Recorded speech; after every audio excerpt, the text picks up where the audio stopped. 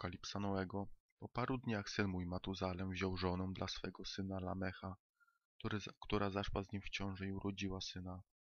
Ciało jego było białe jak śnieg i czerwone jak kwiat róży, a włosy na jego głowie były białe jak wełna. Miał piękne oczy. Kiedy otworzył swe oczy, napełnił cały dom jasnością jak słońce, tak że cały dom był nad wyraz jasny. Kiedy zabrano go z rąk akuszerki, otworzył swoje usta i przemówił Panu Sprawiedliwości. A jego ojciec Lamech zląkł się z tego powodu, uciekł i udał się do swego ojca Matusalema. Powiedział do niego, urodził mi się dziwny syn. Podobny jest nie do człowieka, ale do dzieci aniołów nieba. Jest innego rodzaju, nie jest taki jak my. Jego oczy są jak promienie słońca, a oblicze jest jego chwalebne. Wydaje mi się, że go nie, że nie wyszedł on ode mnie, ale od aniołów. Boję się, żeby coś nadzwyczajnego nie stało się na ziemi za jego życia. A teraz, ojcze mój, błagam cię i proszę, abyś poszedł do naszego ojca Henocha i dowiedział się od niego prawdy. Albowiem mieszka on z aniołami. I kiedy Matuzalem usłyszał słowa swego syna, przyszedł do mnie na krańce ziemi, bo usłyszał, że tam się znajduję. Zawołał, usłyszałem jego głos i podszedłem do niego. Powiedział, powiedziałem mu, tu jestem, synu mój, po co przyszedłeś do mnie? A on odpowiedział mi, z każdego powodu do ciebie przyszedłem. Z bardzo ważnego powodu do ciebie przyszedłem, z powodu niepokojącej wizji zbliżyłem się do ciebie. Posłuchaj mnie, ojcze mój, albowiem urodziło się memu synowi Lamechowi dziecko, którego kształt i wygląd nie są taki jak wygląd człowieka. Jego kolor jest bielszy od śniegu i czerwieńszy od kwiatu róży, włosy jego na głowie są bielsze od białej wełny, oczy jego są jak promienie słońca. Otworzył swoje oczy i napełnił cały dom jasnością.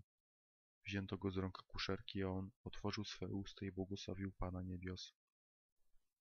Jego ojciec Lamek przestraszył się i przybiegł do mnie. On nie wierzył, że jego syn pochodzi od niego, ale sądzi, że od aniołów nieba i oto przyszedłem do ciebie, abyś mi powiedział prawdę. I ja, Henoch, odpowiedziałem mu, Pan dokona nowych rzeczy na ziemi. Widziałem to już w widzeniu, powiadam cię, powiadamiam cię o tym. Oto za pokolenia mojego ojca Jareda niektórzy z wysokiego nieba przekroczyli słowo Pana.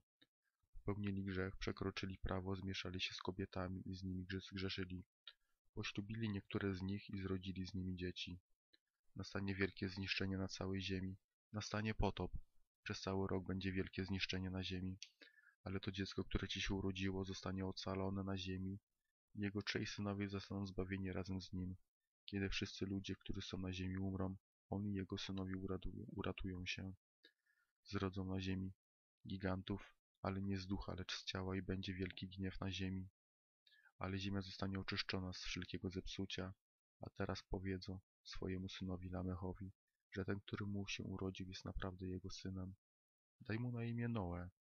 On będzie dla ciebie nadzieją, iż on i jego synowie zostaną ocaleni ze zniszczenia, które przychodzi na ziemię z powodu grzechu i wszelkiej nieprawości, która zostanie popełniona na ziemi za jego dni. Lecz potem nastanie jeszcze większa niegodziwość od tej, którą popełniono na ziemi przedtem, albowiem znam tajemnice świętych, Pan bowiem pokazał mi je i dał mi je poznać i przeczytałem je na tabliczkach niebieskich. W nich napisano to, że z pokolenia na pokolenie czynić będą zło, aż powstanie pokolenie sprawiedliwe, a pokolenie czyniące zło zostanie zniszczone i grzech odejdzie z ziemi, nastanie na niej wszelkie dobro. A teraz, synu mój, idź, powiedz twemu synowi Lamechowi, że to dziecko, które się narodziło, jest rzeczywiście jego synem i że to nie jest kłamstwo. I kiedy Matuzalem usłyszał słowa swego ojca, albowiem on pokazał mu wszystko, co jest napisane, powrócił. Ujrzawszy dziecko, nadał mu imię Noe, albowiem on pocieszy ziemię po całym zniszczeniu. Inna księga, którą Henoch napisał dla swego syna Matuzalema i dla tych, którzy przyjdą po nim i będą zachowywać prawo w dniach ostatecznych, Wy, którzy zachowywaliście je, wytrwaliście aż do momentu, gdy przyjdzie koniec na popełniających zło i ustanie moc niegodziwców. Oczekujcie, aż przeminie grzech, albowiem imiona ich zostaną wytarte z księgi życia, a ich potomstwo zostanie unicestwione na wieki. Duchy ich zginą. Będą jęczeć i płakać na opustoszałej pustyni, na płonącym miejscu, ponieważ nie będzie już ziemi. Ujrzałem coś jak obłok, którego trudno dojrzeć, albowiem z powodu jego głębokości nie mogłem nań spoglądać. Ujrzałem płomienie ognia palące się jasno i coś na kształt jasnych gór, przewracanych i zrzucanych z boku na bok. Zapytałem jedno ze, jednego ze świętych aniołów, którzy byli ze mną, co to za jasne miejsce, albowiem nie ma tu nieba, ale tylko płomienie palącego ognia i głos krzyczących, płaczących, lamentujących i dotkliwy ból. Odpowiedział mi, to miejsce, które widzisz, jest miejscem, do którego zostaną wtrącone duchy grzeszników, bluźnierców i tych, którzy czynią zło, i tych, którzy zniekształcają wszystko, co powiedział Pan przez usta proroków i o tym, co należy czynić, albowiem na górze i niebie znajdują się księgi i notatki o nich. Aniołowie mogą je czytać i dowiedzieć się, co ma spotkać grzeszników i duchy pokornych oraz tych, którzy umartwiali swe ciała i zostali nagrodzeni przez Boga, jak również tych, którzy byli wykorzystywani przez złych ludzi. Są to ci, którzy miłowali Boga, ale nie chowali złota i srebra, czy jakiegoś światowego dobra, ale wydali swe ciała na mękę. Są to ci, którzy od samego momentu swego istnienia nie prowadzili ziemskiego, nie pragnęli ziemskiego pokarmu, ale uważali siebie za przymijające tchnienie i trzymające się tego. Pan wypróbował ich bardzo i dusze ich okazały się czyste, aby mogli błogosławić Jego imię. Wszystkie ich błogosławieństwa od opowiedziałem w księgach. Wyznaczono im nagrodę, albowiem okazało się, że bardzo miłowali niebo niż swoje życie na świecie i nawet jeśli zostali zdeptani nogami przez złych ludzi i musieli wysłuchiwać, jak ich lżono, poniżano i wykorzystywano, to mimo to błogosławili Pana.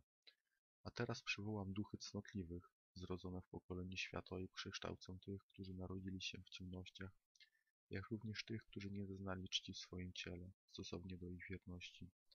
Prowadzę do jaśniejącego świata tych, którzy miłują moje święte imię i, posądzę, i posadzę każdego na jego tronie chwały. Jaśni będą przez niezliczoną ilość czasu, albowiem sprawiedliwy jest Boży wyrok, wiernemu i kroczącemu prawymi ścieżkami dotrzymują wiary. Ujrzą oni tych, którzy narodzili się w ciemności, wrzuconych do ciemności, podczas gdy sprawiedliwi jaśnić będą. Grzesznicy będą jęczeć, widzieć, jak oni jaśnieją, ale sami pójdą tam, gdzie ustalono dla nich dni i czasy. Tu kończy się wizja apokaliptyczna Henocha.